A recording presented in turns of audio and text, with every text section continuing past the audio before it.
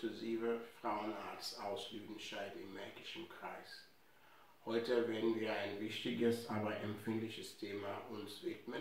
Ähm, auf mehrmaligen Anfragen wollen wir das Thema angehen, weil es in der Praxisalltag wichtig ist und weil immer wieder Fragen dazu auftauchen. Es geht um das Jungfernhäutchen oder um die Jungfräulichkeit. Was ist das Jungfernhäutchen? Wo ist es? Ist es wichtig? Wann geht das kaputt? Hat es eine Funktion? Was macht man, wenn es kaputt geht? Da sind Fragen, die immer wieder auftauchen. Erstes, erstmal vorab, zwei von 10.000 Frauen sind ohne Jungfernhäutchen geboren. Das heißt, nicht jede Frau hat ein Jungfernhäutchen. Beziehungsweise nicht jede Frau hat ein Jungfernhäutchen, das kaputt zu gehen ist. Ich habe hier Zeichnungen angefertigt. Das ist dann vom Unterteil einer Frau, das ist die Scheide und hier sieht man den der After. An bestimmten, an einigen Bildern sehen Sie, dass das rot bemalt ist, das ist das Jungfernhäutchen, das den, den Scheideneingang den auskleidet. Hier ist es komplett ausgekleidet, hier gibt es eine Aussparung in der Mitte, hier gibt es zwei kleine Aussparungen und auf dieses Bild zum Beispiel sind ja viele kleine Löcher. All das sind ganz normale Jungfernhäutchen oder Hymen genannt. Diese Jungfernhäutchen sind von Geburt an da bei den Frauen, die das haben und bleiben meistens bis in die Pubertät erhalten. Die haben eine Funktion. Teils ist es als Schutz für Dreck und auch für Infektionen, äh, Keime, die dann in die Scheide gehen können.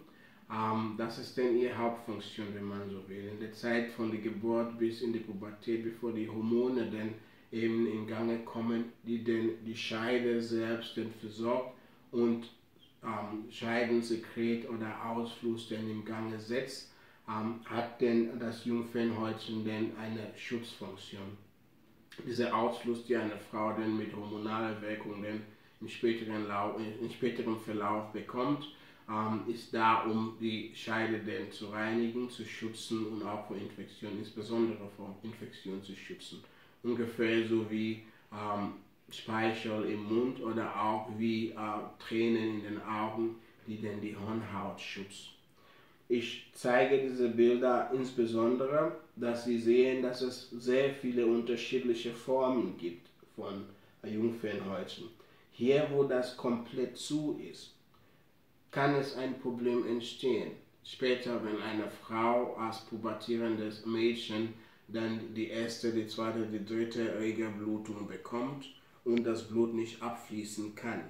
Wenn das Blut nicht abfließen kann, bleibt das dann in der Scheide erhalten, dann könnte das dann sehr starke Unterbauchschmerzen machen. Das könnte auch äh, Schwierigkeiten beim Wasserlassen bei dem Mädchen verursachen, könnte Probleme beim Stuhlgang verursachen und in so einem Fall, wo es dann komplett dicht ist, äh, der Scheidenausgang oder Eingang, musste man gegebenenfalls denn diese Jungfernhäutchen, um äh, diese Problematik denn zu beheben, denn einen Schlitz da machen, um die Blutung denn zu entfernen. Hier ist natürlicherweise ein Schlitz, da sind viele kleine Schlitze, hier auch. Und diese hier sieht auch man sieht diese Jungfernhäutchen äh, nur am Rande, genauso wie hier. Hier ist es denn nur an dem unteren Teil äh, des Scheideneingangs zu sehen und hier sieht man es gar nicht. Es könnte auch von Geburt an so sein, es kann aber auch sein, dass es im Laufe des Lebens gerissen ist, dass es denn so aussieht oder so aussieht oder so aussieht. Meistens reißt denn ähm, dieses Hymen oder Jungfernhäutchen ähm, nach Geschlechtsverkehr ein. Es muss nicht beim Geschlechtsverkehr einreißen, es ist sehr, sehr dehnbar und bei vorsichtigem Geschlechtsverkehr äh, könnte sein, dass es nicht reizt. Dass man das erstmal vorab weiß. Es kann aber auch ohne irgendwelche Zutun, ohne irgendwelche Geschlechtsverkehr ähm, auch passieren. Zum Beispiel, wenn ein Mädchen am Spielen ist, beim Klettern, auf dem Spielplatz, beim Wippen, äh, beim Reiten. Ähm, das kann passieren, ohne dass es eine Bedeutung hat. Und dann ist ähm, das Jungfernhäutchen einfach weg oder dass man denn nur die Ränder denn übrig bleibt, übrig geblieben sieht. Ähm, blutet es? Ja, manchmal blutet es, es muss nicht immer bluten. Und wenn es zur Blutung kommt, ist es dann meistens nur eine sehr leichte Blutung.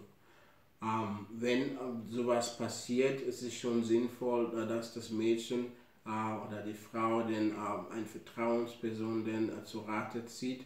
Die Mutter, gegebenenfalls Kinderarzt oder Frauenarzt. Wenn es denn aus anderen Gründen passieren sollte und sie unsicher sind, ist es schon sinnvoll, denn eine Vertrauensperson denn zu Rate zu ziehen. Meistens ist es so, dass wenn äh, die Jungfernhaut den reizt, dass es denn kein Problem ist. Da braucht man keine zusätzliche Versorgung. Das heilt ganz gut ab und dann ist es denn auch erledigt. Es kann aber auch, außer bei normalen Geschlechtsverkehr, kann es auch bei Selbstbefriedigung, zum Beispiel mit den Fingern oder mit Objekten, auch äh, passieren, dass das Jungfernhäutchen reißt. Es könnte auch bei ärztliche Untersuchungen oder bei ärztlichen Eingriffen, wie diese hier zum Beispiel, die ich vorhin erwähnt habe, dass es denn da kaputt geht. Das sind so die wichtigsten Zeiten und Umstände, bei denen denn, äh, diese Jungfernhäutchen denn auch reizen können. Ist das wichtig? Ja, es ist nur teils wichtig als Schutz. Aber wenn es nicht da ist, ist es dann kein Problem. Und spätestens nach der Pubertät braucht der Körper kein Jungfernhäutchen mehr. Es gibt äh, Männern, Familien, Kulturen, für die das denn sehr wichtig ist, dass Jungfernhäutchen da ist. Aber wie ich denn gerade erwähnt habe, kann die Frau meistens nichts dafür. Es wird auch, Entschuldigung, wird auch teilweise als Beweis dafür gesehen, dass man keinen Geschlechtsverkehr gehabt hat. Aber wie auch erwähnt wurde, ist das denn kein sicherer Beweis, weil es kann auch ohne Geschlechtsverkehr denn reißen. Es gibt ja in solchen Situationen, äh, wo äh, Familien sagen, am Ehebett, am Hochzeitsnacht oder beim Beischlaf das erste Mal, dass es denn bluten soll. Und einige Frauen vor Angst, wenn äh, das Jungfernhäutchen gerissen ist, aus unterschiedlichen Gründen, suchen nach Wege, wie sie denn diese äh, Jungfräulichkeit denn vortäuschen können. Da ist Vorsicht sehr geboten, weil diese Leute, für die das denn sehr wichtig ist, die achten auch darauf, dass man irgendwelche Tricks denn benutzen möchte. Welche Tricks gibt es? Man könnte denn einen Blutschwamm denn in eine Scheide legen und dann am Hochzeitsnacht dann kommt es zur Blutung man könnte dann eine Nadel dann, ähm, ja, mitnehmen und dann gegebenenfalls sich an den Finger dann pixen und das Blut dann mit an den Laken dann auch drauf tun. Man könnte dann mit Hormone, zum Beispiel wie die Pille, dann die Regelblutung so regeln, sodass ähm, am Hochzeitstag oder in der Hochzeitsnacht, dass es dann ähm, zur Menstruation kommt und somit eine Blutung vortäuschen die dann vermeintlich von der äh, sogenannten äh, Jungfernhaut denn ausgegangen ist. Man könnte dann äh, zum Beispiel Bläschen wie Fischbläschen mit Blut oder Kunstblut dann auffüllen und das dann in die Scheide legen und entsprechend dann, äh, dass es dann bei der Penetration dann äh, Platz und dann zur Blutung kommt. Wie gesagt, da ist Vorsicht geboten, weil ähm, es könnte einem dann in größeren Problemen denn bringen als in dass man denn ein Problem löst. Außerdem könnte es denn zur Infektion kommen. Es könnte gar zu Sepsis kommen, wenn man den Blut benutzt und dann eine Infektion, eine größere Infektion bekommt. Und man könnte sich verletzen. Es gibt noch eine Möglichkeit, äh, ohne dass man was zutun, dass man den am Hochzeitsnacht beim ersten Geschlechtsverkehr mit dem Ehemann sich dann einfach verkrampft und die Beine dann mehr zusammenzieht, Beckenboden dann anspannen, so ist denn der Scheideneingang dann enger und somit kann es dann zu Schmerzen und gar zur Blutung kommen. All das ist es natürlich nicht garantiert, dass man dann erfolgreich in sein Vorgehen ist. Kann man denn eine kaputtgegangene äh, Jungfernhaut denn reparieren?